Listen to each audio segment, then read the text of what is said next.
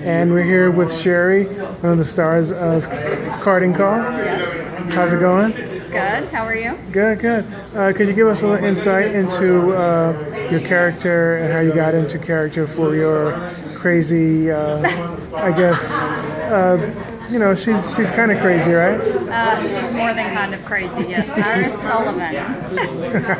Iris Sullivan from the Carting Call. Um, here's like a sweet little southern lady, and you find out she's pretty twisted. Um, I kind of based my character on the mom from People Under the Stairs, so Cool. she's pretty pretty messed up. Yeah. Well, um, now you've got some more acting coming up for you this year, I would imagine, right? Yes. Could you uh, give us a little insight into what that's about?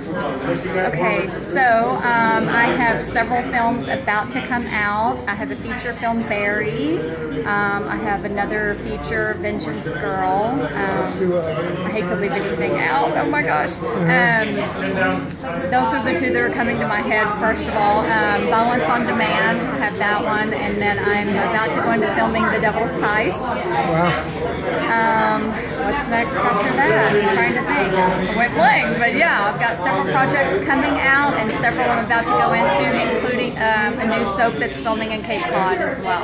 Oh, cool, cool. Now, are you uh, California bred, or are you really from Texas? I, this is authentic, baby.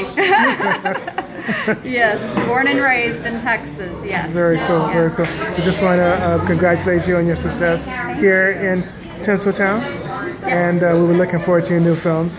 And this has been. I'm real bad with names. I know I should know your name. Sherry. Sherry Sullivan. No, Sherry. Sullivan. What's your last name? Sherry Davis. Sherry Davis. Thank you so much, Sherry. Uh-huh, thank is you. Maurice Dwayne Smith with Cold Heat News.